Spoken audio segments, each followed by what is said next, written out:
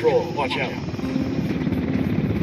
Hey guys, in this video I'm going to show you how to undervolt your GPU so that you can have your computer run a lot cooler and a lot quieter and so the fans don't have to spin up okay. quite so loud.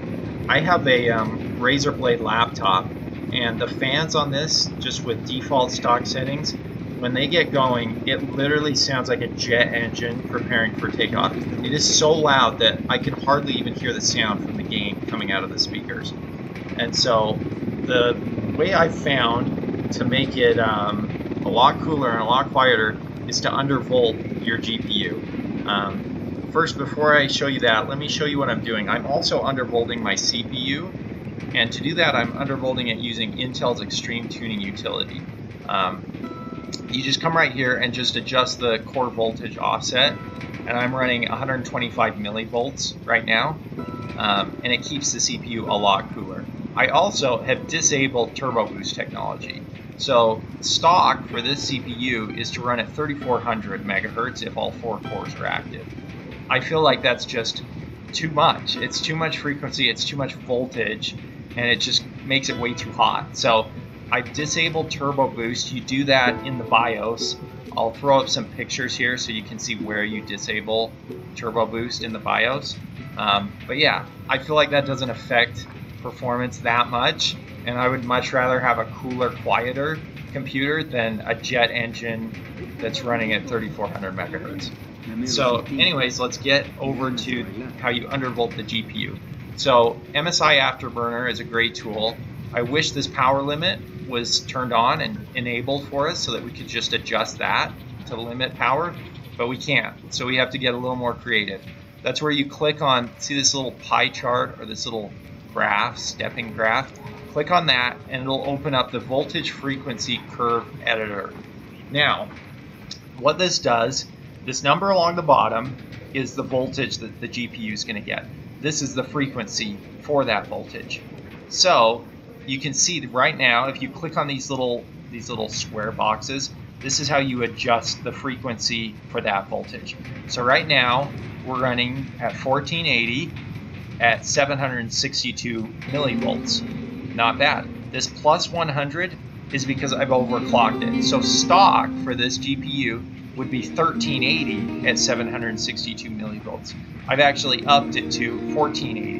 So I've got a plus 100 frequency overclock on my GPU. Now, just like your CPU, how much you can overclock this thing is going to depend on the silicon quality of your GPU. Some people won't be able to go over stock. Some people might be able to go 200. I don't know. I really haven't gone above 100. I haven't tested it. Maybe I could go plus 250 at this. Who knows? You just have to test it. It'll crash. Come back in here and adjust it. It's not hurting anything when it's crashing.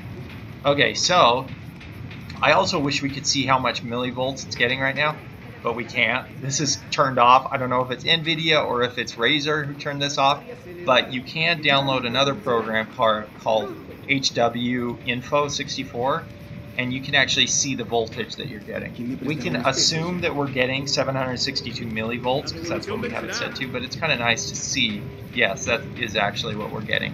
Um, so now, let me show you stock and how you actually create this curve.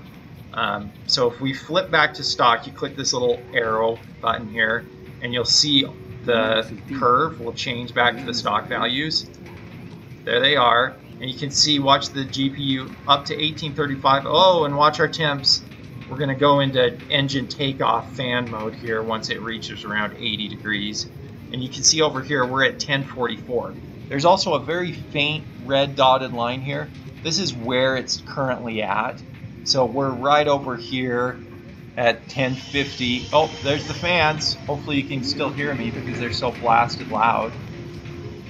So we're right around 1050, which is just way too much for these little dinky fans they have in here. So let's say this is what yours will look like if you haven't set up a custom voltage frequency curve.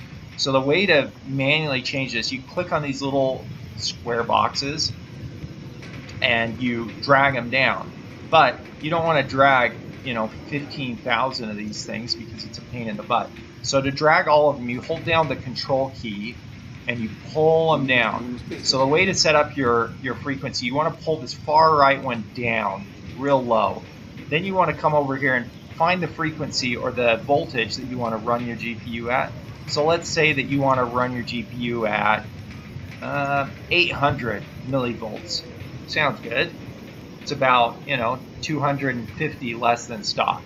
So what you do is you come to this 800, pull it up so that it's up to stock, which would be 1481. I'm gonna I'm gonna actually overclock this by 50. So we're gonna run 800 millivolts at 1531. So once you've got that to your point, you have to make sure all the points in front of it are below it. So once you've done that, you click the checkbox. You can see it pulls all of these voltages up to this base one. And you can see we've already gone up to 1531. Look at our temps dropping. Already down to 75 degrees. And so the GPU is smart enough to know that, hey, I can run at 1531 at 800 millivolts. I don't need to even go above that because all these frequencies are at 1531. So it picks the lowest one. That's why we dragged this all the way down. Okay, so that's it, guys. You can see the GPU is already running cooler. Performance really, honestly, doesn't change that much for these frequencies. So you can play around with this, see how high you can overclock it, Maybe you guys could go all the way up to 200. I don't want to go too high because I don't want to crash my computer while I'm recording. But yeah, you guys might be able to go plus 200, 800 millivolts. Your, your temps will be great. Your performance will be awesome. And more importantly, your fans won't sound like jet engines preparing for takeoff. One thing I forgot to mention, so I'll just insert this little clip into the video, is make sure after you create your custom voltage frequency curve, make sure you save it to a profile. Otherwise, it'll just revert back to the default when it loads next time. So to save a profile, after you've made your curve, you just click this little disk button and then you just select the profile number you want to save it to. So you just click 5, it'll say profile 5 saved.